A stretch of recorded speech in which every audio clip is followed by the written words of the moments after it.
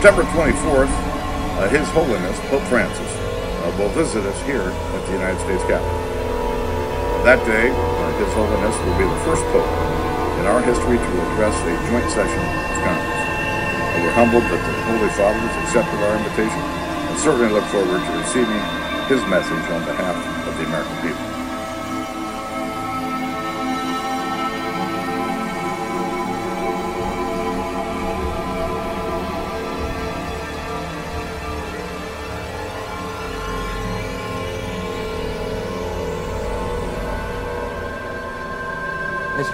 Final question. Yes, sir. You said famously, when you looked into Vladimir Putin's eyes, you saw his soul. Yeah. When you look into Benedict XVI's eyes, what do you see? God. Good way to end the interview. Thank you, sir. Thank you, sir. My pleasure. Thank you. Uh, when you look into Benedict XVI's eyes, what do you see? God.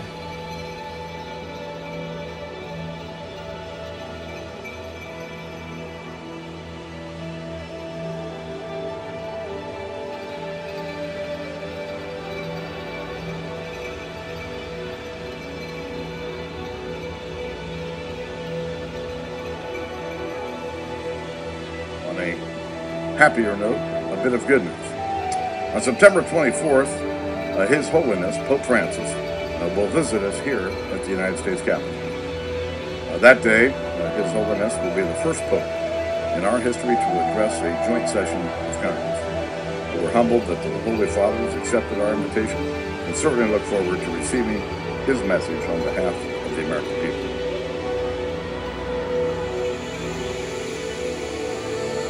We meet here at a moment of testing for Europe and the United States and for the international order that we have worked for generations to build. The end of these two wars affords us an opportunity. It allows us to refocus our intelligence and military assets and resources to other parts of the world where they are needed, where we face new challenges. This is the world you are graduating into. This is what I want to talk about today with you for a few minutes.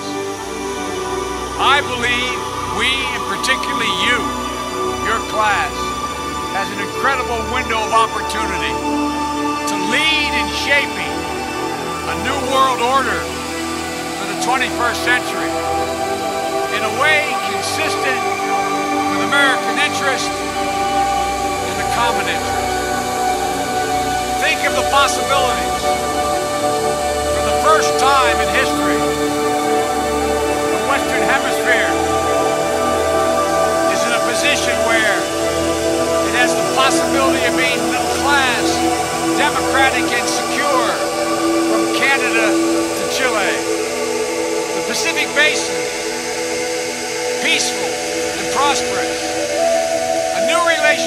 China where we cooperate and compete, but where conflict is not inevitable. A revitalized global trading order, trading order defined by greater integration and economic growth, where barriers are lowered at the borders and behind our borders, generating millions of American jobs, where intellectual property is protected and the playing field is level, major powers come together to deal with the challenges of our time that require us all to act in concert. And there are many challenges, including violent extremism is becoming more diffuse. Countries emerging from chaos in the midst of war. Challenges in the international order on the high seas and in the skies. Emerging threats in cyberspace. For the first time in world history, the use of corruption and oligarchs as a sinister tool in the conduct of foreign policy. That day, uh, His Holiness will be the first Pope in our history to address a joint session of Congress. For the first time in world history, the use of corruption and oligarchs as a sinister tool conduct of foreign policy. We're humbled that the Holy Father has accepted our invitation and certainly look forward to receiving his message on behalf of the American people. Countries emerging from chaos in the midst of war, challenges in the international order on the high seas and in the skies. The fall of Ramadi has galvanized the Iraqi government. So with the additional steps I ordered last month, we're speeding up training of ISIL forces, including volunteers from Sunni tribes in Anbar province. There were major powers come together to deal with the challenges of our time that require us all to act in concert. And there are many challenges, including violent extremism,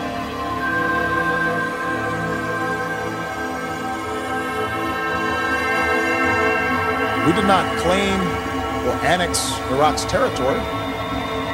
We did not grab its resources for our own gain.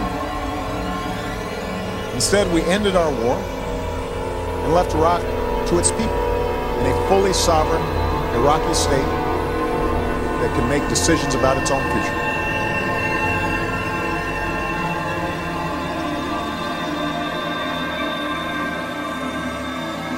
For the first time in world history, the use of corruption and oligarchs as a sinister tool in the conduct of foreign policy. But order and progress can only come when individuals surrender their rights to an all powerful sovereign. A lot of our history comes from Rome. We have to recognize that. Uh, it was old uh, Gibbon who said that when the wars are fought, the victors tell the story. I'm not giving his words exactly, but that's the gist of what he says. Uh, he says, in other words, it is the victors who tell the story. So if you're a defeated Christian small group, then you are, your story is told from the standpoint of those who conquered you. And Pelikan, the modern uh, American scholar, says, and there is no other way, many times, to tell the story.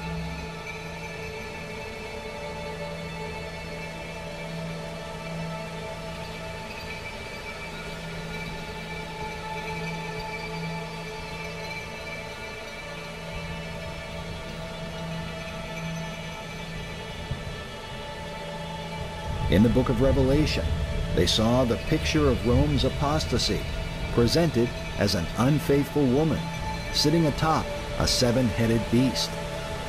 And upon her forehead was a name written Mystery, Babylon the Great, the mother of harlots and abominations of the earth.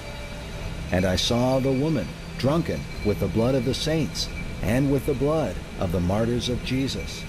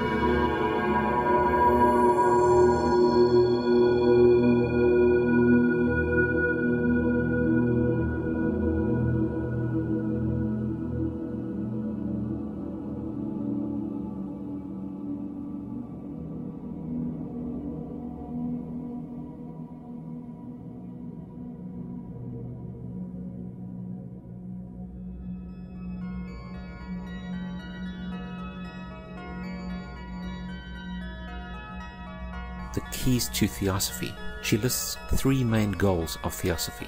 Firstly, the universal brotherhood of humanity without distinction of race, color, or creed. Secondly, to promote the study of the world's religions. And thirdly, to investigate the hidden mysteries of nature. Theosophy is the first major New Age group, and they are largely responsible for many of the New Age beliefs, including the belief that Jesus represented the sun god. Global elite are New Age occultists who adhere to New Age dogma and are responsible for this trend of discrediting Christianity, Jesus Christ, and Christian New World Order researchers. This trend is a monolithic and ruthless conspiracy that is coming into fruition at the end of this age. The occult community is full of secret societies that practice secret oaths, secret meetings, and secret occult practices. This implies that they have something to hide. The Bible says that what is done in secret will be brought into the light. God does not keep secrets, but has revealed truth to us in the Bible. At the heart of all occult teachings is pride, that their secrets are only for the select few. It caters for an elitist mindset. At the heart of all they teach and do is the attempt to discredit the true God, the deity of Jesus Christ, the Bible, and Christians in general. Now in Ephesians 6 verse 12, the Bible reveals that we do not wrestle against flesh and blood, but against principalities, against powers, against the rulers of the darkness of this world, against spiritual wickedness in high places. So we can see that uh, this is part of a spiritual battle. It's not people that we're fighting against. These ideas and ideologies and so-called spiritual principles come out of the demonic realm. These are spirit beings that are peering to these occultists and seeding their lies into their writings, into their minds, into their spirits. And of course, these doctrines of demons are then taught as so called truths or spiritual revelation. Quote, it will be fought largely with mental weapons and in the world of thought. It will involve also the emotional realm from the standpoint of idealistic fanaticism. This inherent fanaticism will fight against the appearance of the coming world religion and the spread of esotericism. It must not be forgotten that only those souls who are on the probationary path or the path of discipleship will form the nucleus of the coming world religion. There is no question, therefore, that the work to be done in familiarizing the general public with the nature of the mysteries is of paramount importance at this time. When the Great One comes with his disciples and initiates, we shall have the restoration of the mysteries and their exoteric presentation as a consequence of the first initiation. Now, from these doctrines, we can see that the stated objective of these occultists is to indoctrinate the public with their esoteric religious ideas and to externalize their occult teachings in humanity with the ultimate realization of a new world order that is devoid of what they call the negative influences of traditional Christianity. By this, they mean that Christians who claim that salvation can be found through Jesus Christ alone and only through Christianity, and that the Bible is the source of absolute truth, these people, they say, are divisive, narrow minded, bigoted, fundamentalist, idealistic fanatics who are hindering the spiritual evolution of humanity. In other words, Christians are holding back the planet and retarding human progress on the planet. Here is a quote by Zygmunt Brzezinski. He says, The technetronic era involves the gradual appearance of a more controlled society. Such a society would be dominated by an elite unrestrained by traditional values. Soon it will be possible to assert almost continuous surveillance over every citizen and maintain up-to-date complete files containing even the most personal information about the citizen. Horus is one of the oldest and most significant deities in ancient Egyptian religion. Horus served many functions in the Egyptian pantheon, most notably being the god of the sun, war and protection. He's known as the God of vengeance, the God of the sky, protection, and war.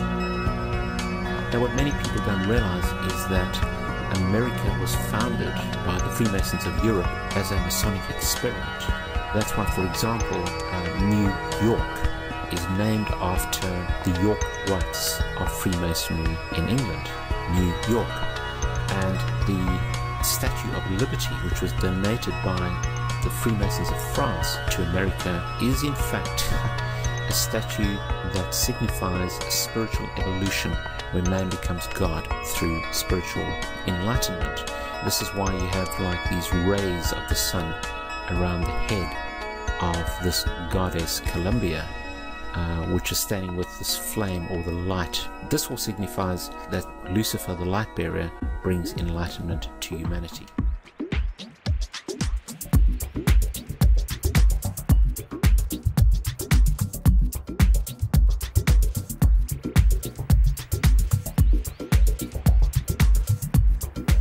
The advance of industry and technology outpace our ability to resolve our differences peacefully. Some are inherently superior to others, and we face difficult decisions about how to exercise our power.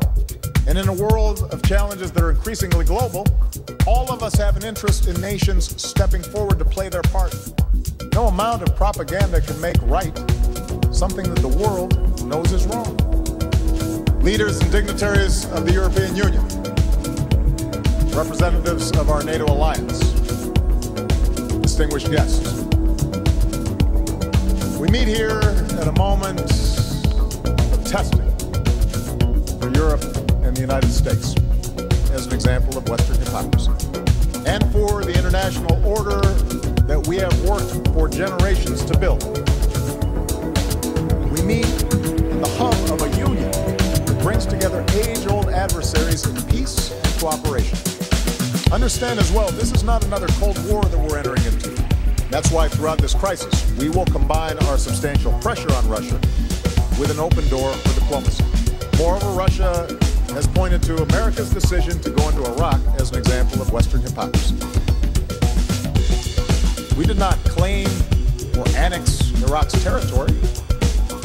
We did not grab its resources for our own gain.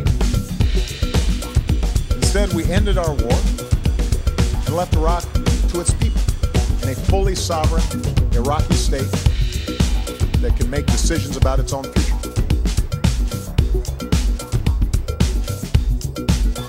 And we face difficult decisions about how to exercise our power. No amount of propaganda can make right something that the world knows is wrong.